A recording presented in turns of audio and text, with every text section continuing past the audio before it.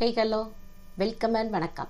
இன்னைக்கு நாம முழு கருப்பு உளுந்து அதாவது தொலியோட உள்ள முழு உளுந்தை பயன்படுத்தி இட்லிக்கு மாவு எப்படி அரைக்கலாம் அப்படிங்கிறத பற்றி தான் பார்க்க போகிறோம் உளுந்தை பற்றி சொல்லணுங்கிற அவசியமே இல்லை. அதில் நிறைய பெனிஃபிட்ஸ் இருக்குது நாற்பது வயது கடந்த பெண்களாக இருக்கட்டும் பருவம் அடைந்த பெண்களாக இருக்கட்டும் இல்லை ஆண்களாக இருக்கட்டும் எல்லாருக்குமே தேவையான ஊட்டச்சத்து அந்த உளுந்தில் அதிகமாகவே காணப்படுது. இப்போல்லாம் தொழி இல்லாத உளுந்தை பயன்படுத்தி நம்ம இட்லி தோசைக்கு மாவாட்ட பழக்கிட்டோம். ஆனால் அந்த தொழியோடு போடுற உளுந்தில் அதிகமான ஊட்டச்சத்து இருக்கிறதுனால மறந்து போன இந்த ரெசிப்பியை நான் உங்களுக்கு ஞாபகப்படுத்துகிறேன் இப்போ பெர்ஃபெக்டாக செய்யக்கூடிய அந்த இட்லி ரெசிபி எப்படி பண்ணலாங்கிறத பார்த்துடலாம் அதுக்கு இன்னைக்கு நான் நாலு கப் அளவுக்கு இட்லி அரிசி எடுத்திருக்கிறேன். ஒரு கப் அளவுக்கு தொளி உளுந்து அதாவது முழு உளுந்து எடுத்திருக்கிறேன். ஒரு ஸ்பூன் அளவுக்கு வெந்தயம் எடுத்திருக்கிறேன். இது நம்ம கடையில் வாங்கின இட்லி அரிசியாக இருந்தால் நாலு இஸ்ட்டு ஒன்றுங்கிற விகிதத்தில் இப்படி பயன்படுத்தலாம். ஒருவேளை ரேஷன் அரிசியோ இல்லை வீட்டில் உள்ள வேறு ஏதாவது அரிசியை பயன்படுத்துகிறீங்க அப்படின்னா கொஞ்சம் மாறுபடும். அஞ்சு டம்ளர் அரிசி எடுக்கிறீங்கன்னா ஒரு முக்கால் டம்ளரோ இல்லை ஒரு டம்ளர் உளுந்தோ தேவைப்படும்.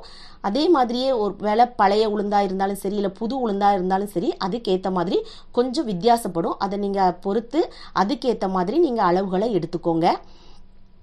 இதை குறைஞ்சது ஒரு நாலு அஞ்சு முறை நல்லா கழுவி சுத்தம் பண்ணி எடுத்துக்கோங்க. இந்த உளுந்து ஊறுறது பார்த்தீங்கன்னா நம்ம தொளி இல்லாத உளுந்து கிட்டத்தட்ட ஒரு மூணு நாலு வரை நம்மளுக்கு நல்லா ஊறி வந்துடும் ஆனால் இந்த தொளியோடு இருக்கிற அந்த முழு உளுந்து ஊறுறதுக்கு ரொம்ப நேரம் ஆகும். அதனால் நீங்கள் என்ன பண்ணுங்கள் நைட்டே ஊற வச்சிட்டிங்கன்னா காலையில் அரைக்கிறதுக்கு கரெக்டாக இருக்கும்.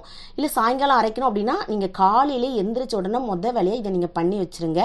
இப்போ எந்த அளவுக்கு நல்லா சூப்பராக உளுந்து ஊறி இருக்கு பாருங்கள் இப்படி அதில் ஒரு பருப்பு எடுத்து நசுக்கி பாருங்கள் அந்த தொளி வந்து அப்படியே கலண்டு வரும். இது வந்து லைட்டாக ஊறலை அப்படின்னா அரைக்கிறதுக்கு லேட் ஆகும். நல்லா ஊர் இருந்துச்சு அப்படின்னா நம்ம சீக்கிரத்தில் அரைச்சி எடுத்துடலாம். அதுதான். இப்போ நான் அரைக்க போகிறேன் கிரைண்டரில் கொஞ்சோண்டு தண்ணி சேர்த்துக்கோங்க. அதுக்கப்புறமா நீங்கள் உளுந்தை சேர்த்துடலாம். உளுந்து போட்ட உடனே கொஞ்சம் தண்ணி தெளித்து தெளித்து ஆட்டுங்க. இருபது நிமிஷம் ஆட்டினீங்கனாலே உளுந்து நல்லா மையாக நம்மளுக்கு அறப்பட்டு வந்துடும் இதை மாதிரி நல்லா வெண்ணெய் மாதிரி அப்படியே ஆட்டி எடுக்கணும். ரொம்ப தண்ணியாக ஆட்டிடாதீங்க. தண்ணி தெளித்து தெளித்து இதை மாதிரி ஆட்டி எடுத்தீங்க அப்படின்னா அந்த இட்லி வந்து நல்லா மென்மையாக பஞ்சு போல் நம்மளுக்கு இருக்கும். இப்போ இது எனக்கு நல்லா ஆட்டியாச்சு நான் ஒரு பாத்திரத்துக்கு மாற்றிட்டேன் இப்போ அடுத்ததாக நம்ம அரிசியை அரைக்க போகிறோம் அப்பவும் கொஞ்சோண்டு தண்ணி சேர்த்துட்டு நீங்கள் அரிசி போடுங்க. அரிசி போட்டோன்னா கொஞ்சம் லைட்டாக அப்படி சிக்கின மாதிரி இருக்கும். அப்பப்போ தண்ணி ஊற்றி நல்லா ஆட்டி எடுத்துக்கோங்க. இட்லிக்கு ஆட்டுறதா இருந்தால் லைட்டாக அப்படி நொர நொரன்னு இருக்கணும். தோசைக்குன்னா இன்னும் கொஞ்சம் நல்லா அரைப்படணும் இல்லையா? அதுக்கு ஏற்ற மாதிரி நீங்கள் பார்த்து ஆட்டி எடுத்துக்கோங்க. இப்போ அரிசியும் நல்லா ஆட்டுப்பட்டுருச்சு. இப்போ நான் அதையும் பாத்திரத்துக்கு மாற்றி வச்சுட்டேன். அரிசி கொஞ்சம் கனமாக இருக்கிறதுனால அடியில் போய் தங்கிக்கிடும்.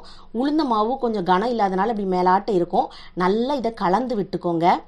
சில பேருடைய கைக்கு வந்து புளிக்காது அந்த அளவுக்கு. எனக்கு ரொம்ப புளிச்சிருங்கிறதுனால லைட்டாக கரண்டி வச்சு கலந்துட்டு அதுக்கப்புறமா கையை வச்சு கலந்துப்பேன். இப்போ தேவையான அளவுக்கு உப்பு சேர்த்துக்கிடலாம். இப்போ உப்பு சேர்த்து இதை நல்லா அடி ஒட்ட எந்த அளவுக்கு அடித்து கலக்க முடியுமோ அந்த அளவுக்கு கலக்கி எடுத்துக்கோங்க. அப்படி இல்லைன்னா கையை வச்சு கூட நம்ம அழகாக கலக்கி எடுத்துக்கிடலாம். இப்போ எனக்கு இந்த பாத்திரத்தில் நிறைய மாவு இருக்கிறதுனால நான் இதை ரெண்டு பாத்திரத்துக்கு நான் மாற்றி வச்சுக்கிட போகிறேன் இப்போ பாருங்கள் மாவு எந்த அளவுக்கு இருக்குது பாருங்கள் நல்லா புளிச்சு வந்த உடனே நல்லா புஷ்ஷுன்னு மேலே முடிய வந்துடும் மாவு. இப்போ நைட்டு நான் இதை அப்படியே வச்சிடுறேன். காலையில் காமிக்கிறேன் பாருங்கள் எந்த அளவுக்கு நல்லா புளிச்சு பொங்கி வந்திருக்கு பாருங்கள் ஒருவேளை இப்படி பொங்கிரும்னு நினச்சிங்கன்னா அடியில் ஒரு வாயகஞ்ச பாத்திரத்தில் வச்சு இதை வச்சிங்கன்னா அந்த மாவு நம்மளுக்கு வேஸ்ட் ஆகாமல் நம்ம பார்த்துக்கிடலாம். இப்போ பாருங்கள் நல்லா மாவு சூப்பராக ரெடி ஆயிடுச்சு நம்ம இட்லி ஊற்றிட வேண்டிதான் மேலாட்ட இப்படி பொதுமையை எடுத்தீங்க அப்படின்னா இட்லி ரொம்பவே சாஃப்டாக இருக்கும். ஆனால் நான் எப்போவுமே லைட்டாக மெதுவாக கலந்து விட்டுக்குவேன். ரொம்ப அடித்து கலக்காதீங்க. அடி ஒட்ட அப்படி சாஃப்டாக கலந்து எடுத்துக்கோங்க. அப்போ நம்மளுக்கு நல்லா இட்லி பஞ்சு போல் இருக்கும். இப்போ அடுத்ததாக இட்லி பாத்திரத்தை அடுப்பில் வச்சிடலாம். தண்ணி தேவையான அளவுக்கு ஊற்றிக்கோங்க எப்போவுமே இந்த தண்ணி கொதி வந்ததுக்கு அப்புறம் தான் நம்ம இட்லி தட்டை தூக்கி வைக்கணும். அப்போ தான் பெர்ஃபெக்டாக நம்மளுக்கு இட்லி கிடைக்கும். எந்த அளவுக்கு நல்லா ஆவி வருது பாருங்கள் இந்த அளவுக்கு வந்ததுக்கு அப்புறம் தான் நம்ம தட்டை வச்சு மூடணுமே. இட்லி அவிக்கிறதுன்னு பார்த்தீங்கன்னா கிட்டத்தட்ட ஒரு பத்து நிமிஷம் அளவுக்கு அவிச்சிங்கன்னா போதும். ரொம்ப நேரம் இதை குக் பண்ணணும் அப்படிங்கிறது கிடையாது. இப்போ எனக்கு டைம் கரெக்டாக ஆயிடுச்சு இப்போ நான் ஸ்டவ் ஆஃப் பண்ணிட்டேன். உடனே நீங்கள் எடுக்க வேண்டாம். ஒரு சில நிமிஷங்கள் கழித்து எடுங்க. சூப்பரான ஆவி பறக்கிற இட்லி ரெடி ஆயிடுச்சு பாருங்கள் இப்போ உடனே எடுத்தோன்னா அந்த பாத்திரத்தில் இந்த இட்லி ஒட்டிடும். கொஞ்சம் ஆற விட்டுட்டு எடுங்க. இப்போ பாருங்கள் எந்த அளவுக்கு நல்லா சூப்பராக அப்படி பழம் மாதிரி அப்படியே எடுக்கிறதுக்கு வருது பாருங்கள் அந்த பாத்திரத்துலேயும் நம்மளுக்கு ஒட்டாது. அந்த பாத்திரத்தில் லைட்டாக எண்ணெய் தடவிக்கோங்க. இப்போ பாருங்கள் எந்த அளவுக்கு சூப்பராக இருக்குன்னு பாருங்கள் இட்லி பார்த்தீங்கன்னா அந்த அளவுக்கு பஞ்சு போல் இருக்கும். நம்ம சாதாரணமாக இட்லி எப்படி இருக்குது அதே மாதிரி தான் டேஸ்ட்லாம் இருக்கும். நம்ம கொஞ்சம் தொளி போட்டுக்கனால கசக்குமா அப்படிலாம் எதுவுமே இல்லை.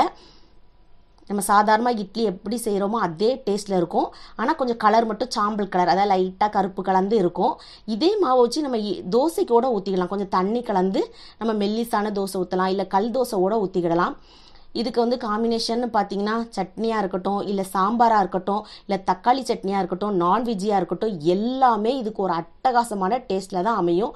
கண்டிப்பாக ரொம்பவே யூஸ்ஃபுல்லான இந்த டிப்ஸ் எல்லாம் ஃபாலோ பண்ணி உங்கள் வீட்டில் இந்த கருப்பு முழு உளுந்தில் நீங்கள் இட்லி பண்ணி பாருங்கள் ரொம்பவே உடம்புக்கு நல்லது. கண்டிப்பாக ட்ரை பண்ணி பார்த்து உங்களுக்கு பிடிச்சிருந்துச்சுன்னா லைக் பண்ணுங்கள் ஷேர் பண்ணுங்கள் சப்ஸ்கிரைப் பண்ண கேண்டி ஸ்டோர் தமிழுக்கு மறக்காதீங்க.